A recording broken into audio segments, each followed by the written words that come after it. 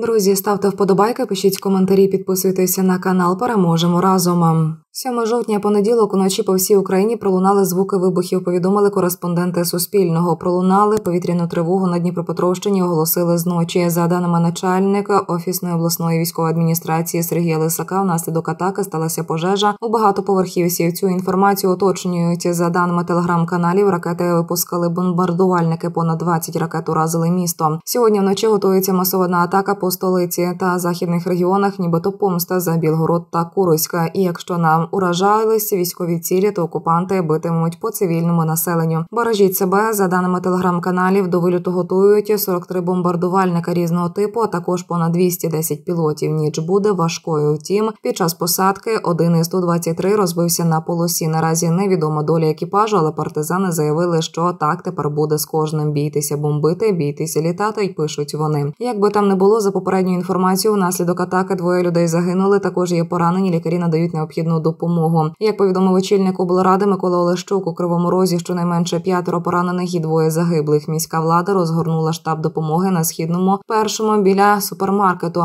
Рятувальна операція триває. На місці працюють усі служби. Понад 30 поранених через атаку госпіталізували. Повідомив Лисак. Серед них дитина п'ятеро важкому стані. Як повідомили в управлінні преси внутрішньої політики виконкому Криворізької міськради, унаслідок ракетної атаки у місті щонайменше три влучання, у тому числі пряме влучання дев'ятиповерховий будинок. Відомо про 33 поранених внаслідок атаки. Серед них четверо дітей у місті зайнялися два будинки, п'яти та дев'ятиповерхівка. Повідомив Лисак. Кількість загиблих зросла до трьох. Також відомо про 36 поранених. Серед них семеро діти. Написав голова Дніпро ОВА. Особистий наказ Патрушева бомбити рідне місто Зеленського. У той же час вибухи лунали поряд із районом Зеленського. За даними сусідів, президента Зеленських батько вивезли ще за тиждень до початку війни. В свій час батько Володимира Зеленського грубо висловлювався про українців, які не задоволені його сином, а саме його зустрічу з нормандського формату в президенті РФ Володимиром Путіним. Свою критику 71-річний Олександр Семенович Зеленський висловлював інтерв'ю виданню страна тих людей, хто розчарувався в вікорливі країни. Батько президента назвав біомасою. Знаєте, у кого розчарування у тупих розумна людина розуміє, що Вова чесна людина і бажання він продемонстрував. Він затримався там з Путіним на півгодини. Випросив три мирні зони. Про що ви говорите? Які люди розчаровані біомаси, це сказав Олександр Семенович. Також Олександр Семенович говорив, що його синові президентство до одного місця. Скільки років грабували всю країну? Зараз нічого немає. А ще й року не минуло, як Вова у влади. Він хоче, та йому це президентство до одного місця, щоб ви знали. Він просто говорить у середині зробити країни. Ось це найголовніше, чого в голові у вас немає. Розлютився батько президента. Також батько Володимира Зеленського був дуже незадоволений тими молодими людьми, які збираються на мітинги під офісом президента. Зеленський старший вважає, що незадоволені політикою його сина повинні йти воювати на Донбас. Виходить і БББ.